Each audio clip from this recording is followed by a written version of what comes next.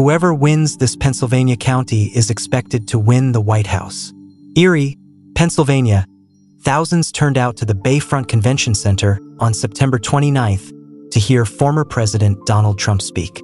Hundreds more gathered outside the convention center to watch Trump's speech on a jumbo display, while nearby stands were set up to register voters, hawk mail-in ballots, and hand out Trump Vance yard signs and bumper stickers. There's a reason for that. Erie County, which hosts the city of Erie, is a strong indicator of who will win Pennsylvania. Since 1980, with the exception of 1988, the county has backed the winner of statewide presidential races. While it doesn't rise to the level of a national bellwether, it's often backed candidates who went on to lose the general election. Since 2008, it's ultimately backed the candidate who won Pennsylvania. That makes it a crucial county in 2024, when the winner of Pennsylvania is highly expected by pundits to win the entire election. As recently as 2008 and 2012, the Democratic Party was king in the county, in his election and re-election bid, President Barack Obama won the county by 20 points and 16.9 points, respectively. But in 2016, Trump shifted the county by 18.5 points in Republicans' favor and won the county by 1.6%. In 2020, reflecting the razor-thin margins of the election in the state and nationwide, President Joe Biden carried the county by just 1%, or 1,417 votes. The changing politics can be attributed in part to the area's cultural and demographic background. A few hours' drive north of Pittsburgh, Erie County sits at the northwestern end of Pennsylvania, bordering the Great Lake of the same name, upstate New York, and Ohio. The city of Erie, home to large immigrant and university student populations, is Pennsylvania's fifth most populous, lying at the northern edge of the county. Beyond that, the area has several suburban areas and developments. The southern half of the county is largely rural, home to several scattered, small townships. The county's Rust Belt origins are on full display in Erie, with defunct factories and industrial centers dotting the city and its environs. Demographics. In many ways, the county, with its mix of urban, suburban, and rural voters, reflects larger voter distributions in Pennsylvania. I try to explain it this way. If you take all of Pennsylvania and you shrink it down, it's Erie because we've got large industry, we've got tool and die, the small mom and pop places. The southern part of the county is all rural, strictly agriculture. You've got diversity. Tom Eddy, chairman of the Erie County GOP, told the Epoch Times. According to the Census Bureau, the county is home to around 271,000 people.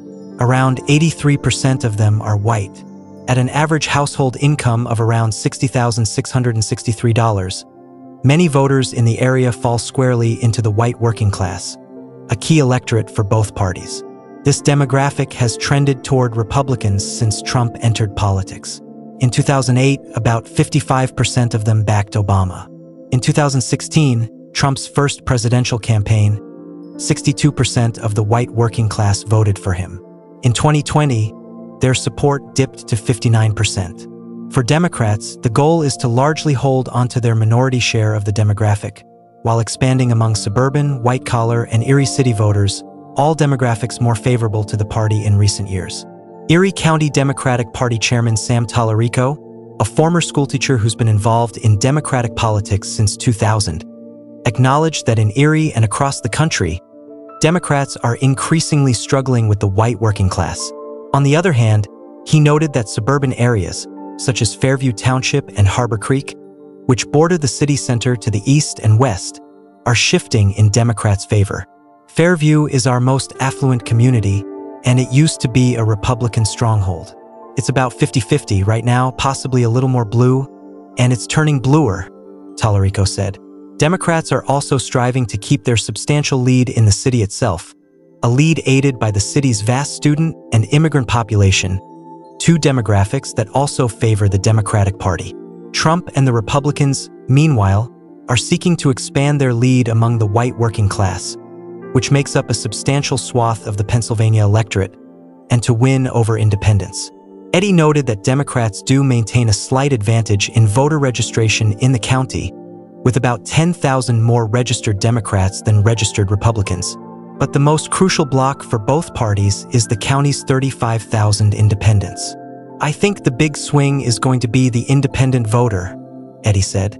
They're the ones that make the difference. Speaking about the closing gap between registered Republicans and Democrats in recent years, Talarico said, I'm not going to say it isn't concerning. It is. But like Eddy Talarico said the real X factor will be the independents. And many of those independents, he noted, are young people, a demographic that tends to favor Democrats, particularly young women. For Republicans and Democrats on the ground, the stakes are clear. As goes Erie, so goes Pennsylvania. And as goes Pennsylvania, so goes the election. Republican enthusiasm. With just about a month left until the election, Erie County appears more politically active than ever. Bumper stickers, billboards, and yard signs expressing support for one candidate or the other litter the area, with a noticeably stronger showing of Trump slash Vance signs.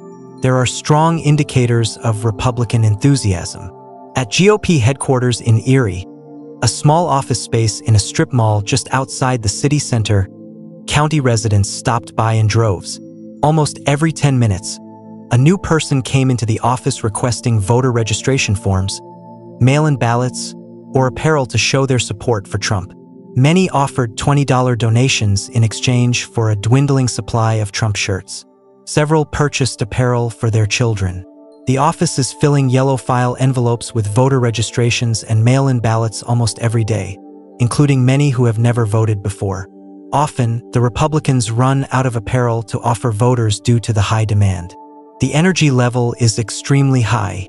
That's what I've noticed more than I've noticed in any of the other elections, Eddy said. The Erie County Democratic headquarters is a few miles away in downtown Erie, comprising a large office space a few dozen blocks from the city center. Compared to Republican headquarters, the energy level is noticeably muted and less chaotic. Volunteers could be seen talking, watching television, and taking calls in the office's large backroom area. A handful of other volunteers and voters circled through to collect party apparel, yard signs, or bumper stickers. While it's harder to access the building by vehicle, with only a limited number of meter-based parking spots outside, the subdued atmosphere reflects the uncertain position Democrats find themselves in. While Talarico noted that, on paper, his party's prospects look bleak, Talarico told the Epoch Times that he still sees reason for optimism. The most compelling thing I've seen is enthusiasm, he said. Before Biden's departure, Democrats had just 60 or so volunteers. Since Harris took over the ticket, that number has jumped to 320. Around 250 people attended a vice presidential debate watch party hosted by the county party. Talarico also noted that Democrats have seen vast success in the county in recent non-presidential elections. That's true. In 2022, Senator John Fetterman handily defeated Republican Mehmet Oz in Erie County, winning 53% of the vote to Oz's 44%. Democratic Governor Josh Shapiro enjoyed greater success the same year, defeating his Republican opponent by a landslide 22-point margin in Erie County. Thus, Talarico said, Democrats' position might not be as dire as it looks on paper. Trump factories. It's not just the Erie County Republican Party that's hard at work trying to flip the county back to Trump's camp.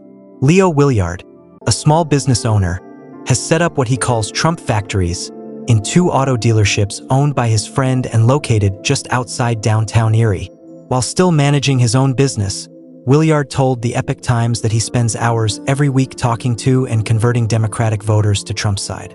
Williard said he was inspired to do so by the city of Erie's Democratic leanings. While the rural and suburban areas are more evenly divided, the city itself votes overwhelmingly for Democrats. Many of those who come into the dealership are from the city, he said. And we started talking to those people. And I have a table set up in the corner of his office up there that I call the Trump Corner. I call this whole process the Trump Factory, Williard said, adding that he was bringing as many as 5 to 15 Democrats a day over to Trump's side. You can't believe the people we are turning from Democrat to Trump. For many, financial concerns, particularly inflation, are the most pressing issue, Williard said, agreeing that inflation could be described as the number one issue in the county right now. The modest income of many residents makes the hit harder than it might be in more affluent areas, Williard said. Williard said that Democrats' decision to nominate Vice President Kamala Harris did energize the Democratic base in the city, but he is confident. I still think that Erie County, based on the work I see being done and the enthusiasm I see, will go red. I think it will turn the state red, Williard said. Republicans have seen strong signs for optimism, but recent Democratic victories in the county still undercut any sort of certainty.